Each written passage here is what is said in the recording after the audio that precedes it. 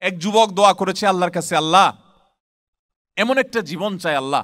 খুব কান্নাকাটি করে দোয়া করছে সবে কদরে আল্লাহ, এমন একটা জীবন চাই যে আমার দুই হাত ভর্তি টাকি টাকা থাকবে আর দুই পাশে নারী আর নারী। আছে না অনেকের? যে বেশি বেশি নারী আসক্তি তার মধ্যে বেশি।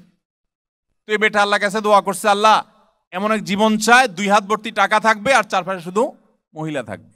আমি লাইফটাকে এনজয় করতে চাই। তো দোয়া কবুল হয়ে গেছে। দোয়া কবুল হয়ে গেছে। কীভাবে কবুল হয়েছে এই যুবক পরবর্তী দেখল যে কোনো মহিলা কলেজের বা মহিলা স্টাফ বাসের কন্ট্রাক্টারই পাইছে। তার দুই হাত ভর্তি টাকা। সারাক্ষণ শুধু টাকা ঘাটে। আর চারপাশে শুধু মহিলা প্যাসেঞ্জার। এই মহিলা অন্যজনের আর টাকাও অন্যজনের। দোয়া কিন্তু করছে আল্লাহর কাছে দেখেন। আল্লাহ হাত ভর্তি টাকা চাই। আরেকটা চাই। আল্লাহ দোয়াও কবুল করছে, কিন্তু সুখ পাইছে। তাহলে বোঝা গেল, আল্লাহ সুমাতালার কাছে আমাদের সুখ চাওয়া দরকার না টাকা চাওয়া দরকার।